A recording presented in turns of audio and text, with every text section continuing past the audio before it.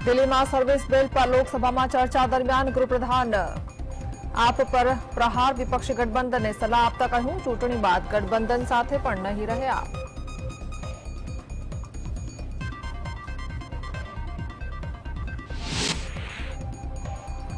મણિપુરમાં ફરી એક વખત ભડકી હિંસા વિષ્ણુપુરમાં થઈ હિંસક અથડામણ ઇમ્ફાલ સહિતના જિલ્લાઓમાં કરફ્યુમાં અપાયેલી છૂટ પાછી ખેંચાઈ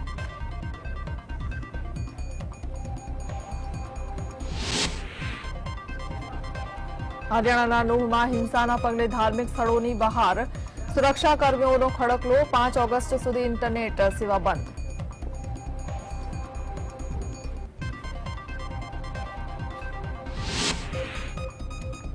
નોહ હિંસામાં પર જગત જમાદાર અમેરિકાએ આપી વણમાંગી સલાહ પ્રવક્તા મેથ્યુ મિલરે બંને પક્ષોને શાંતિ જાળવવા કરી અપીલ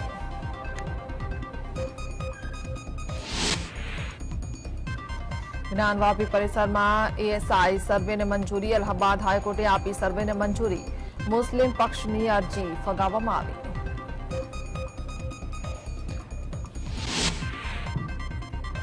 રાજકોટમાંથી ત્રણ આતંકીઓ પકડાવાના કેસમાં એટીએસે ટેરર ફંડિંગની દિશામાં શરૂ કરી તપાસ ત્રણેય આતંકીઓના ખાતાના વ્યવહારો તપાસી કોણ ફંડિંગ કરતું હતું તે દિશા તરફ તપાસ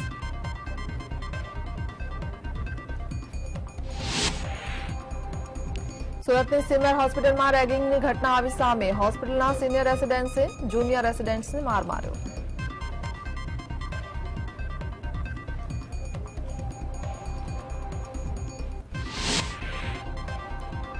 અમદાવાદની શાળાના શિક્ષકો શૈક્ષણિક કાર્ય દરમિયાન મોબાઈલનો નહીં કરી શકે ઉપયોગ. શાળામાં પ્રવેશતાની સાથે જ આચાર્ય પાસે મોબાઈલ જમા કરાવવાનો રહેશે.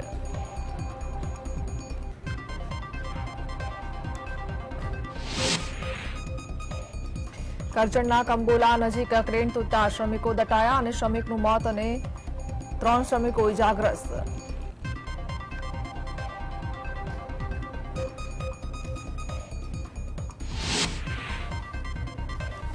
ચાર દિવસ હળવાથી મધ્યમ વરસાદની આગાહી બનાસકાંઠા સાબરકાંઠા અરવલ્લીમાં ભારે વરસાદની સંભાવના. મુંબઈના દરિયામાં હાઈટાઈડની ચેતવણી.